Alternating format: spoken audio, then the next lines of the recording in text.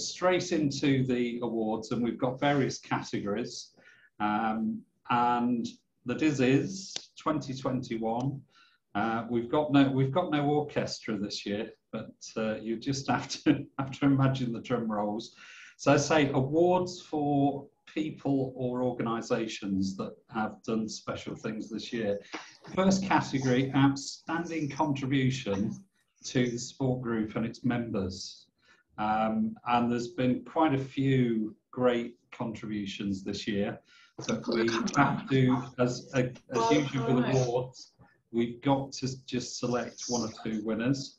Um, the first winner for this category, outstanding contribution, uh, I'm pleased to see that say that winner is with us today, is Dr. Lynette Simpson for the work done earlier this year, work on earlier this year where it became apparent that Lynette's department could be actually seeing referred patients from the Balance Clinic and helping with the psychology, the anxiety that I have to say, when I went down with Meniere's 16 years ago, and I found a very close second to the physical symptoms uh, was the mind games, the lack of confidence, the my life is over, I'm a failure, uh, my life's ended. That that was awful, and I just hope that the work Lynette is now doing in her department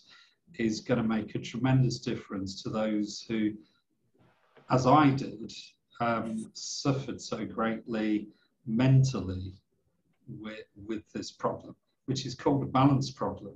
Yet by far the biggest issues I faced were, were my own demons in my mind. So thank you, Lynette. You're our winner. Can we have a few few words from you as an acceptance speech as I pass you your award? well, I'm, I'm, yeah, I'm absolutely thrilled. I was not expecting that. Thank you so much. Yeah, I mean, it's it's really nice to kind of come back here today and see everybody again. And I think you've you've certainly welcomed me in with open arms as a group. So thank you so much. And I think yes, I think kind of um, that link between UHL, kind of the Balance Clinic now, and our department is, has been a really positive kind of outcome for us this year. And uh, I'm certainly keeping track of referrals. So I'm hoping that if we get enough referrals, we can start running uh, groups within our department as well for people, and that would just be fantastic uh, for the year ahead. So thank you so much. I'm really thrilled. Thanks. it's really kind. No, well, thank you, Lynette. So moving on, we've got actually the same category because we felt we had a second winner uh, for outstanding contribution to the support group. Um, and the winner here of that award is none other than Michaela Burson, who a lot of our regular members will know Michaela very well. Uh, she also works at the Leicester Balance Clinic. Um, but the award really for Michaela, she's attended most, if not all of our support group meetings.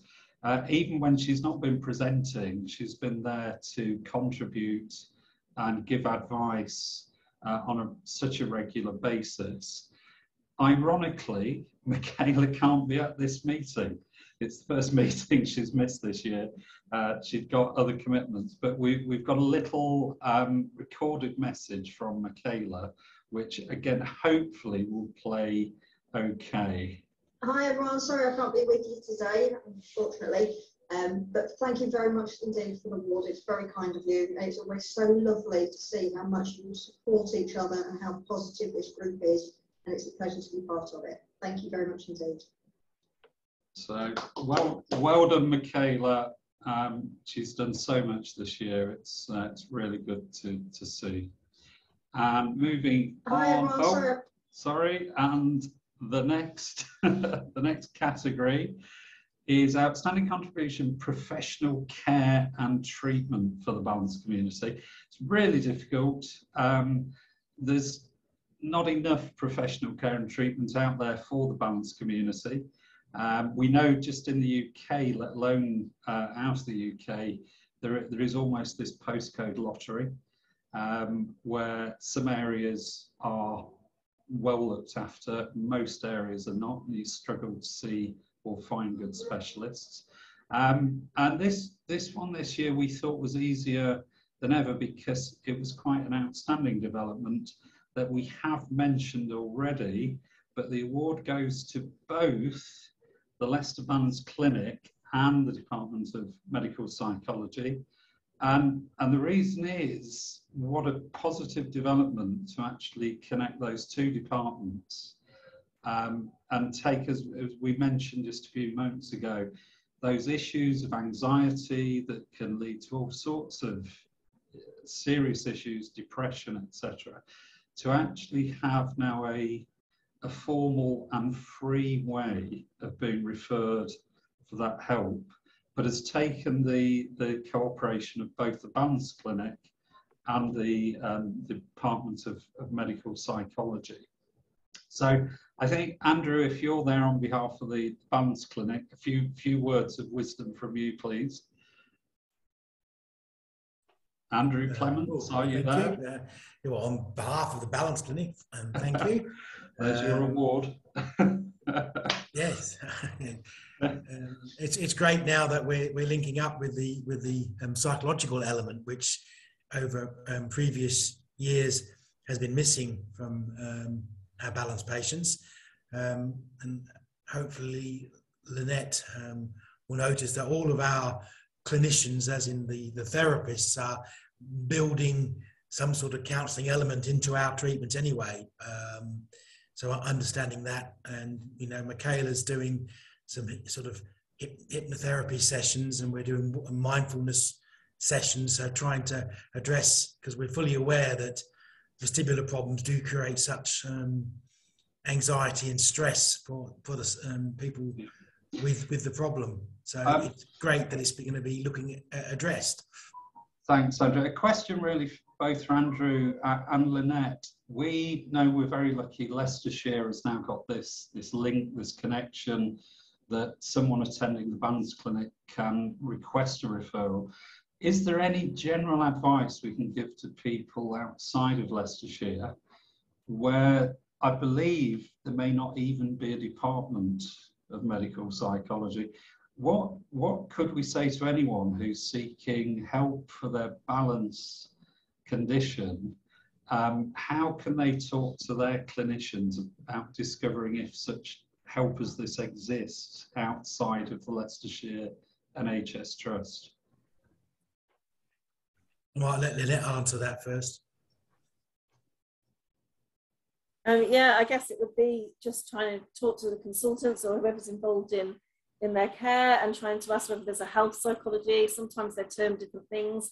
Could be health psychology, medical psychology department, um, and see whether that kind of exists, but uh, doesn't necessarily exist in all in all trusts and all places. So um, it may be that you kind of, in terms of mental health care, that's that's delivered by uh, kind of just a generic kind of mental health team as opposed to a specific uh, kind of health related psychology service. So sadly, um, those things may not may not exist and those links might not be there for people. Andrew, any ideas? Well, no, it, it, that that's the difficult one. Um, I suppose what you need to do is find some health professional who's interested in vestibular problems, whether it's an OT, a physio, an audiologist, a psychologist. There has to be you have to find some member of the team who's interested with vestibular problems and tap into what they can provide. Um, yeah. There are quite a few good resources out on on the internet if you can access it, but I, I think ultimately um, I, I, found it's quite interesting looking up things on mindfulness because mindfulness can be used in so many different ways. If there's nothing available, you can't really go wrong doing something mindful. Whereas um, exercise-wise, there are there are so many vestibular exercises on the internet but it's actually difficult to know what to do. Whereas mindfulness is it, it's if I say easy, it's easy to understand. No, it's, it's hard to do, but it's very easy to understand the concept of trying to help clear your mind. Um, and then yeah. there are some resources which are relatively easy to access on the internet. Um, Good. We anyway we have, but thanks both of you for what you've done this year with you, and, and we really do hope this will be a great example um, that maybe others in the future will look to follow. Um, and certainly we hope our members, if they're not based around Leicester, will cite this as an example where they are. Because um, one day, this, this should be available to everyone. Uh, it's a huge, huge issue for, for most of us with balance conditions. So thanks again.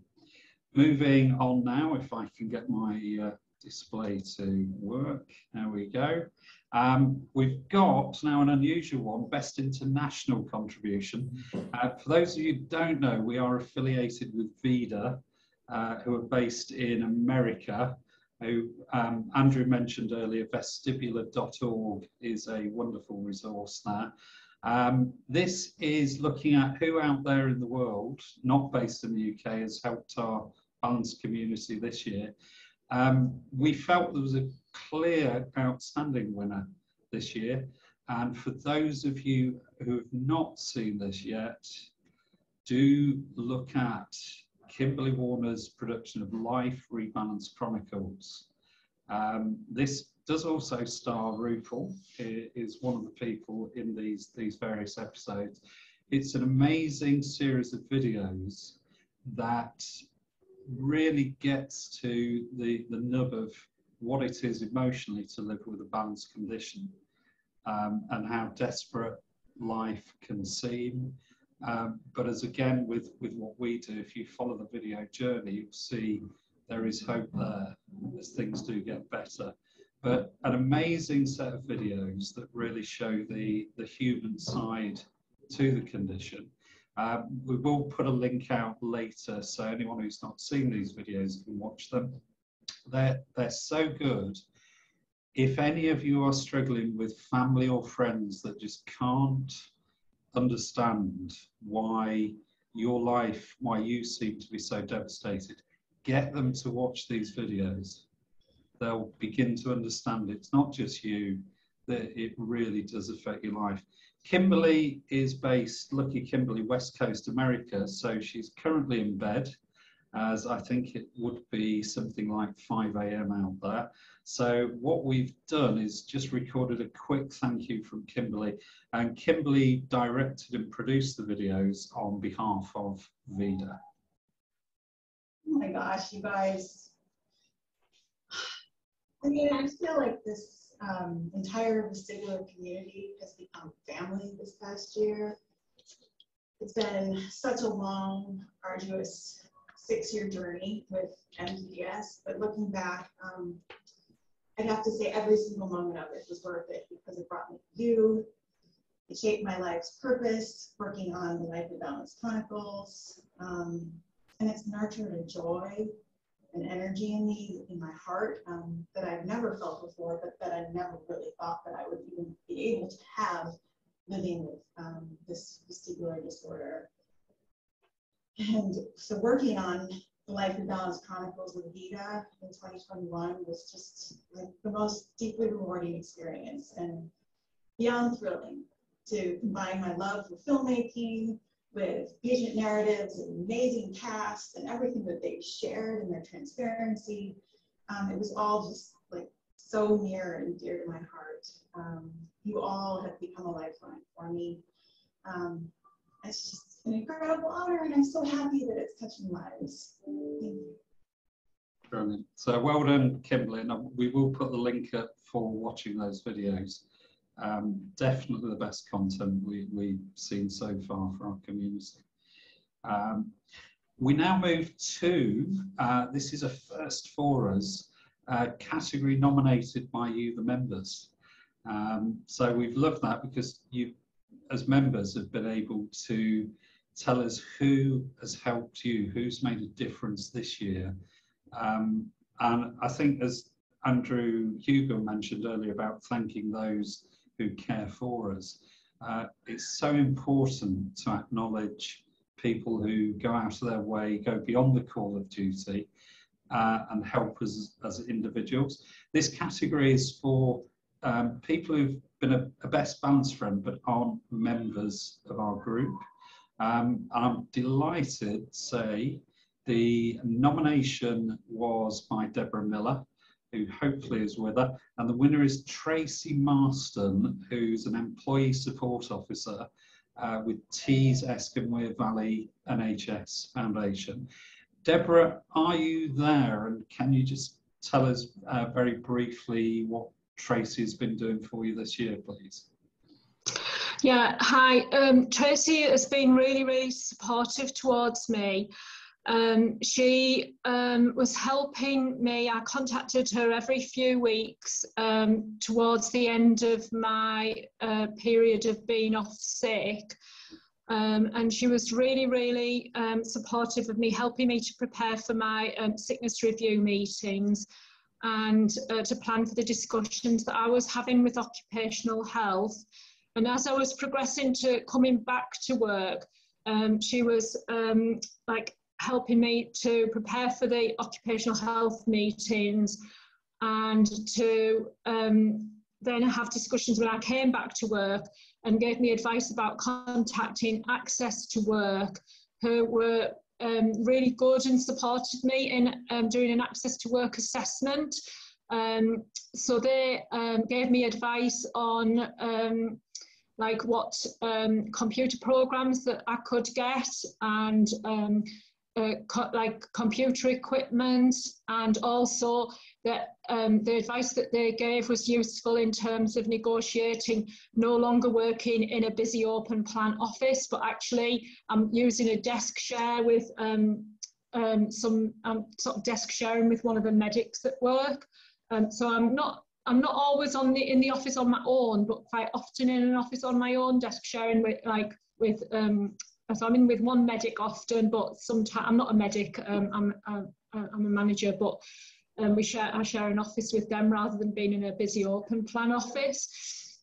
And um, it's just uh, that's worked out much better for me because it was just too distracting for me the noise and the um, and the movement of people around the office and um, it, the lights in that office were terrible and really really affected me.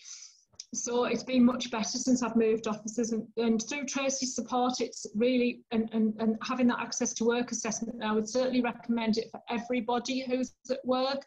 And you can self-refer you don't have to ask your boss to refer. It's a it's a government um, agency um, you just go on the website um, access to work website on gov.uk um, and the uh, the, your employer is required to take notice of the recommendations that they make. And it, it's made a big difference um, because it's an external agency.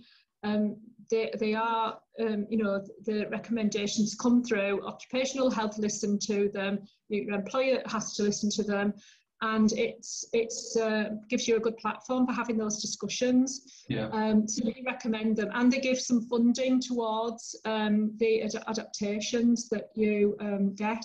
So brilliant. Thanks, Trevor. We will, we'll, we'll put those links on the website as well. Yeah, that's um, helpful. Yeah, thank yeah. you. And we uh, we keep promising this, but next year we will get a section on helping members and non-members um, with this issue of employment. Because as you all know, Deborah, it, it's not easy with any man's condition. And no, when, when, when we, we're at our lowest, we've lost our confidence in just every aspect of our life, what we don't need is an employer making the wrong decisions or doing the wrong things, which so many of them, uh, so many see as, uh, as just just problems they don't want in their organisation. Yeah. Uh, and it's nice seeing from here, Tracy can't be with us, but she said, you know, she's humble getting the reward. Uh, she's so aware that people with long-term health conditions, that, that more than ever, that's when they need support. Um, and as Tracy knows, sadly, there are too few organisations that are prepared to do this. So if, if any members watching this or watching the video, do be aware that, that Bann's conditions are a hidden disability. I can't talk about American law, but for UK, uh, you have got employment protection. And, and it's worth any employer understanding uh, that if they were to do the wrong thing, if a case ever goes to a tribunal, uh, because this would be a disability case, there are unlimited damages. So it's worth employers doing the right thing and understanding what the right thing is to do. Mm. But as I say, we, we've a lot of us, too too many of us, have experienced very very poor treatment um, in terms of employment. So that we hope will change. Thanks, Deborah, for making that nomination. Um, and well done, Tracy. um, Yeah, for done. Tracy's been great. She she really has been so supportive, and um, she's got a background in equalities and diversity, and she's been really really supportive towards me. And it's been great having somebody um, there who's you know anytime I've wanted to meet meet with her, she's always been able to meet with me in a few days. And it's just been really, really good to have someone outside of the, you know, the management structures, etc., outside of HR, who I've been able to speak with, and it's been fabulous. It's really, really helped me. Lovely. I'm back at work. I've been back at work seven months. I'm not saying it's easy. Um, it's you know, but I'm I've, I've touched wood. Um, never, never been in every day um, without Yeah. any problems. Uh, I'm not saying it's easy, but it's it, I'm, I'm doing it. Well So, done. yeah. Well. Okay, thank you. Long way to continue. Thank you. Yeah, Thank you. And next category is again nominated by the members. And this case, it's actually for Best Balance Friend, who is a fellow member of the sport group. So this, um, the older, longer term members will know I keep mentioning this every time. We've got an opt-in group called Member to Member. It's where you agree to provide, it can be just your email address or email address and phone number. That is then circulated to other members who've opted in. You can then talk to each other. You can make contact, make superb friendships, and you've all got so much in common that I just ask all of you to consider opting in. Uh, we then issue a new list. The next one will be issued two weeks after this meeting, so just around Christmas. So anyone who wants to join the member to member group, just email in and we'll add your details to it. So this one is important because it means one of our members has not only been getting support, but they've been giving so much support to others. And I'm delighted to say the winner is this year none other than Ella. Ella Samples, are you there? Ella, I hope you are. So please speak now. Come on, Ella, where are you? Can anyone see Ella there? I've got a restricted view. Can you see her there, Rupal? I can't. I can't see her. I'm, I'm just Yeah. Come on, Okay. Ella. Yes, um, one thing that I have discovered on my journey is that I've been planning a, a, a program that's fitness program. It's a fitness program, but it's interwoven with, uh, you know, the rehab. And I've gradually developed it really because I started off with vestibular and, and balance issues. And then I went on to this triple PD, which, you know, really was causing me a lot of uh, problems. You know, I mean, I, I could step out of my car and I'd just go completely, you know, down. Or if, if I met a great crowd of people, immediately I'd go down. So um, what I've done is I've developed um, the, well, I haven't developed the exercises, but I've selected certain exercises that help with my balance and then certain exercises that help with my visual you know so when, so that you know the visual overload and that seems to have helped me a lot That's good, Ella. But but remember, this award is for you supporting others. Um, oh yes well and- ah, oh yes if- oh, sorry if- if sorry I- uh, If I if I add that you were nominated by two different members uh, who said what terrific, upbeat, cheerful support you've given on every contact. So. And, and I must add, what others wouldn't know, you did win an outstanding member of the year last year. So you, you've now set a record that you, you're the only person to win two Dizzys. Um, but on behalf of the group, thank you for being you, for being so positive, actually having your own condition and battling through it. And, and almost at every meeting, you contribute and make these lovely comments about what's working for you. But what a great example of how you're helping others as, as well as getting through your own condition. So, so well done you. Um, and as you're there, a little round of applause from everyone for Ella being. Yeah. Oh, well, thank you very much. Yes, that's very interesting. you. Well done. And, and your award's coming very soon to you. It will be, will be delivered soon, Ella. Just moving on now, the, the final category, Outstanding Member Contribution of the Year. Um, and this is the member who we feel has just done that, that extra bit, whether it's sharing of their story, whether it's sharing of themselves, but they've helped in a big way. And it normally um, is followed by comments by other members when that member has appeared or done something. And this was very much the case with this winner. Um, and I'm delighted to say the winner this year of Outstanding Member is Amy Sparrow. Are you there, Amy? Please speak and you will appear. Are you there, Amy? Hello, can you hear me? Yes, I, I can hear you. And Amy, Thank you if I so could much. Just, if, if I just say, um, we were all so impressed when you spoke at one of our meetings and explained how from such an early age um, your life really had, had been so dominated by serious balance condition.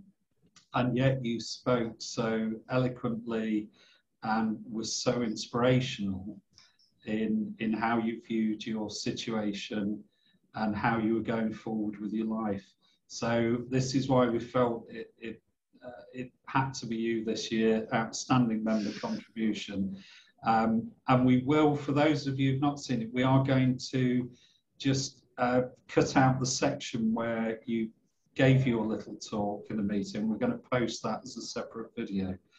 But it was an amazing contribution. Um, and well done you for what what you shared with us and what you've been doing with your life. I, I don't know if you can just tell us what, what have you been up to lately um, since since we last had your your talk some six months ago. Oh, thank you. um, I'm really glad I've been able to help some people maybe feel a bit more positive.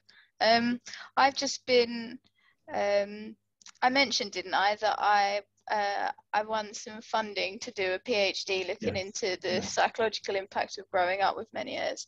So as part of that, um, as part of the the funding package, because it comes from a research council, so um, I'm doing some training at the moment in social research. So I've been trying to get to grips with the philosophy behind different research methods, and it's very confusing.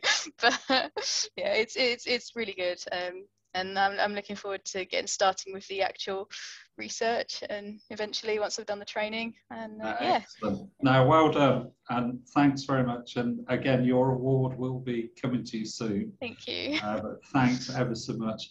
So that's it, ladies and gentlemen, the awards. Um, I will shut up again. All I can say is thank you everyone who's won there.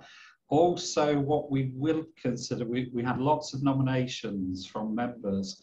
We're going to look early in the year of uh, whether we can share some of those on our website. Um, so we don't just see the winners, but you see others that have been doing great things for our community. Um, and we just hope that all of these these winners they they help inspire other great deeds actions next year uh, for anyone and everyone in, in the balance community. Thanks, Kevin. Thanks Thank very you. much.